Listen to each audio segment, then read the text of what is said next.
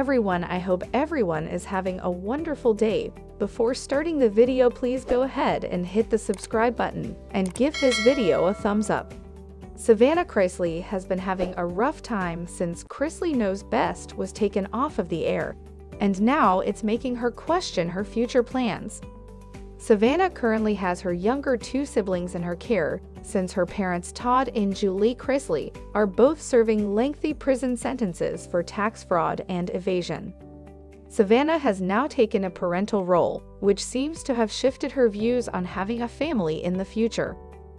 During a recent episode of her Unlocked with Savannah Chrisley podcast, Savannah questioned whether or not she wants children of her own in the near future.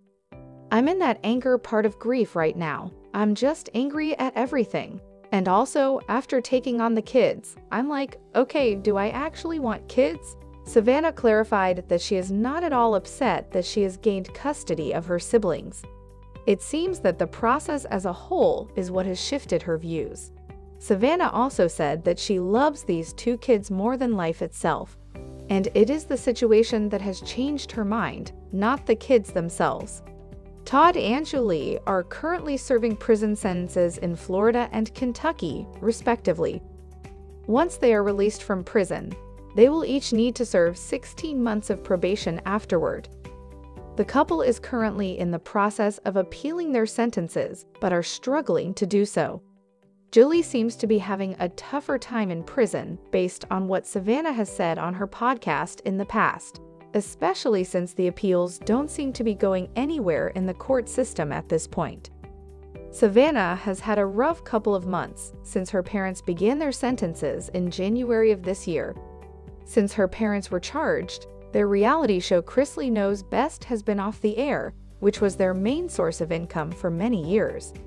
As previously mentioned, Savannah also has custody of her younger siblings and has to care for them as a parent would. Since Savannah is only 25 and was not prepared to be a parent, this has been a big struggle for her, despite the love that she holds for her siblings.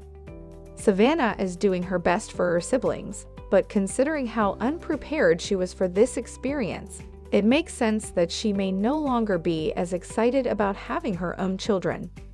Being a parent when young and unprepared is a challenge for anyone, but it is even more of a challenge when they do not have their own parents there to help out. Even if Savannah does not want kids now, maybe she will have her own kids in the future and have her own spin off of Chrisley Knows Best.